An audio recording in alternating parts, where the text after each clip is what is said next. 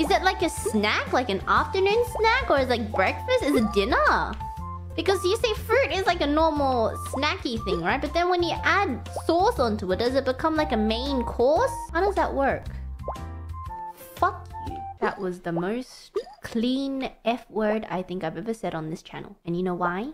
Because I meant it from the soul. Bad Bae!